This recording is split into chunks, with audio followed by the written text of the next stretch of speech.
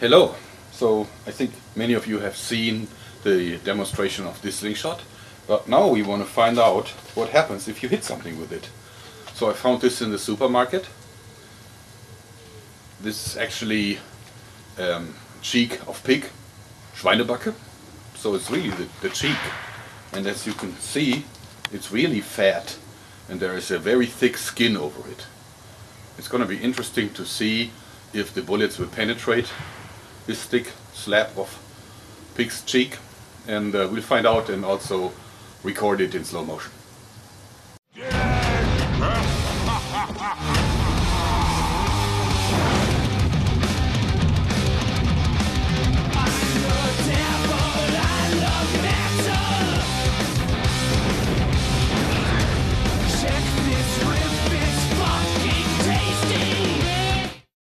Okay, so all the bullets penetrated.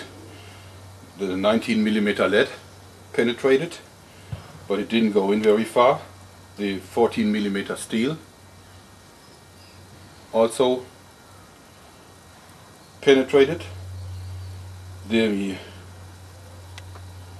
little 9 millimeter steel penetrated, but not very far, just about, I would say, um, an inch or so. The 9 millimeter lead penetrated very far like this so it almost went the whole way through the very thick slab of meat.